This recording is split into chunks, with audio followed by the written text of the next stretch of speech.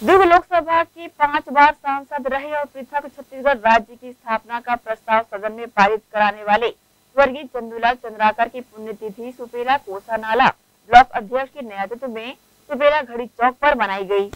आज छत्तीसगढ़ एक पृथक राज्य बनकर पूरे देश भर में सभी राज्यों में अग्रणी भूमिका निभा रहा है। इस छत्तीसगढ़ प्रदेश को पृथक छत्तीसगढ़ राज्य बनाने हेतु सदन में प्रस्ताव पारित कराने वाले एवं दुर्ग लोकसभा से पाँच बार सांसद रहने का गौरव प्राप्त करने वाले स्वर्गीय चंदूलाल चंद्राकर की पुण्यतिथि सुपेला कोसानाला ब्लॉक कांग्रेस कमेटी के नेतृत्व में सुपेला घड़ी चौक स्थित स्वर्गीय चंदूलाल चंद्राकर की प्रतिमा पर माल्यार्पण कर एवं उनकी स्मृति में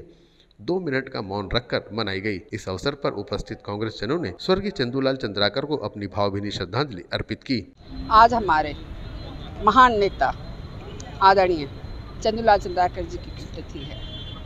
यहाँ सभी जन, ब्लॉक अध्यक्ष और जिला अध्यक्ष के सभी पदाधिकारी यहाँ उपस्थित हुए हैं उनको श्रद्धांजलि देने के लिए। हमारे नेताजी इतने महान थे, ये सभी जानते हैं।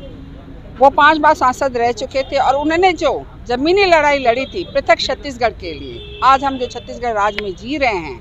ये उनकी देन है। मेरे ख्याल से आज उनको, हम लोग उनके पच्चिनों पर, उनके आदर्शों पर चलकर उनको सच्ची श्रद्धांजलि देते हुए, नमन करते हुए मैं सादर प्रणाम करती हूँ। जय हिंद, जय छत्तीसगढ़। हम लोग आज एकत्रित हुए हैं कि हमारे दुर्ग लोकसभा के पाँच बार के सांसद रहे आदरणीय चंदूलाल जी चंद्राकर और जिन्होंने लोकसभा में छत्तीसगढ़ राज्य की कल्पना के लिए उन्होंने वहाँ प्रस्ताव पास करवाया था और उनके अथक प्रयास से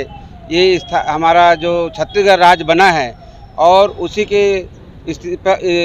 स्थापना होने के पश्चात आदरणीय हमारे, उनके शिष्य, उनके साथ रहे आदरणीय आज के हमारे यशस्वी मुख्यमंत्री भूपेश बघेल जी, उनके ही पद चिन्हों पर चलते हुए इस छत्तीसगढ़ राज्य की परिक्रमा कर रहे हैं, जो नरवा, गरवा, घुरवा, बारी और छत्तीसगढ़ की जितनी भी योजनाएँ हैं अमीर गरीबों के लिए, युवाओं के लिए बेरोजगारों के लिए, सभी योजनाएँ वो पारित करके इस चार साल के इस कार्यकाल में चंदूलाल जी के सपनों को साकार कर रहे हैं आदरणीय भूपेश बघेल जी, यशस्वी मुख्यमंत्री छत्तीसगढ़ शासन पृथक छत्तीसगढ़ राज्य का प्रस्ताव सदन में पास कराने वाले स्वर्गीय चंदूलाल चंद्राकर की पुण्यतिथि मनाते हुए,